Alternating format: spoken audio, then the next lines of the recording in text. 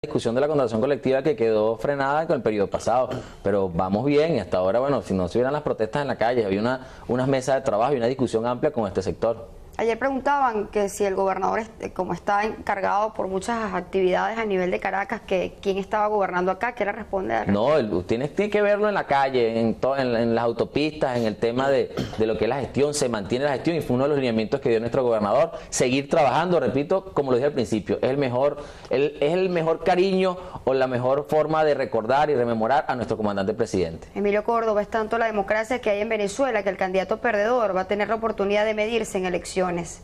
Glenny Mark, diputado, lo invito a que me dé cinco razones de por qué votar por la izquierda sin nombrar al presidente Chávez.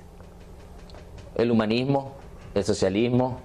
la educación gratuita, la alimentación para todos y el acceso que tenemos todos a los bienes y servicios gracias a la izquierda, gracias a la revolución, más los principios eh, no neoliberales. Estamos contra el neoliberalismo, creemos en la redistribución de las riquezas, creemos en las oportunidades, pero en igualdad de condiciones para todas y todos los ciudadanos.